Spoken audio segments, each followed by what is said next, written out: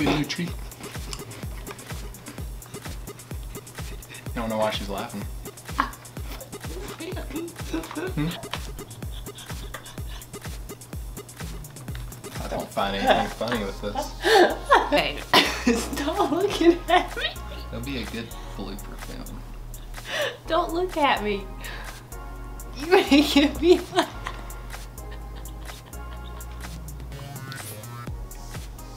Sometimes I get the giggle bug. I don't know. Hey guys, welcome back to my channel. So I have my husband here, Michael. Hello.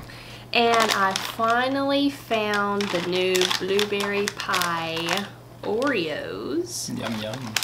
So I'm interested to see how these taste. And I, we also just noticed these don't have the flap to No. open, so you have to. It's the old style, you know. Like I thought the flap was supposed to be the new thing to keep things fresh.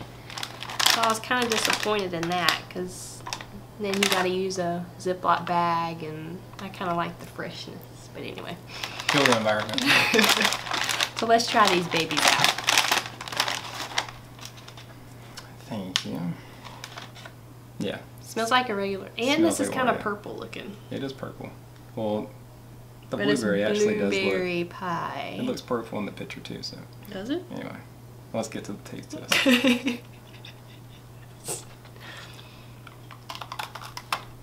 oh, cookie hard. Mm, that tastes the blueberry.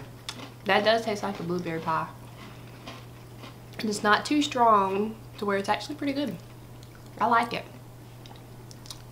Yeah, actually. But the. Oreo cookie is very hard. It's It's a normal Oreo cookie. it tastes harder to me. See? No, I'm just trying to be polite, and not get crumbs everywhere. It's a normal cookie. Maybe some milk. I think it's pretty good. If you like blueberry, I say give it a shot because it's. Mhm. Um, I'll give it like a nine out of ten.